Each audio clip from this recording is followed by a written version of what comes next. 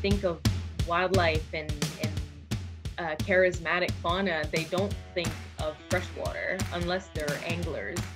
Um, but they think of, you know, the African savannas or coral reefs or so freshwater I think is overlooked uh, by scientists. Uh, there's a lot more people going into marine biology or even terrestrial biology, um, but it's also overlooked, I think, uh, by by the public, by by the way we communicated, by uh, the way we involve people or engage people to to want to protect freshwater or to even know anything. I think freshwaters are typically viewed as um, sort of a commodity, something that we can use for drinking water or for washing our clothes and that sort of thing, but not as a biodiversity hotspot, which is actually what they are.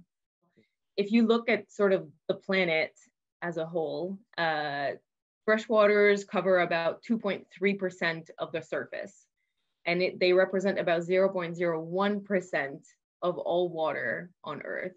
Yet there's 9.5% of species that live in freshwater and about 55% of fish, I'm a fish biologist, um, 55% of fish that actually depend on freshwater for at least one part of, of their life cycle. So if you consider how small of a proportion of the planet they are and how much um, biodiversity are in there, it's actually, they are hotspots. So, and, and we, we need to, to protect them. And I think this is where the link to dam removal comes in is dams and, and barriers to connectivity, barriers to movement and, and their impacts on habitats are probably one of the main, if not the main um, culprit for, for this decline. And I, I, investigated the effects of dams and barriers, uh, big and small, uh, but in particular, the effects of removing them. And when you see sort of a river come back to life, um, I mean, it, it's impressive, and it and it just it really doesn't take much. Just removing that barrier, and nature will will do its thing.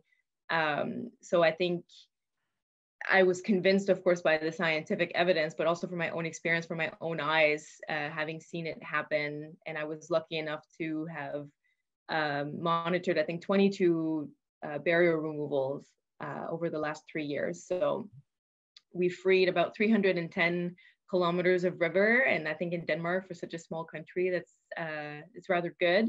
I mean, ideally there would be a strategy, but uh, life sometimes makes it that that's a bit difficult. Um, ideally, if we want to get the most sort of bang for our buck, we would want to remove the barriers that have the biggest impact. The problem with that is that the barriers that have the biggest impact are usually the ones that have the biggest um, sort of uh, opposing sides. So in Denmark, they've adopted kind of a do what you can mm. uh, strategy. So I think the push is, and it is in the legislation that that removal should be um, the first option. So we've worked.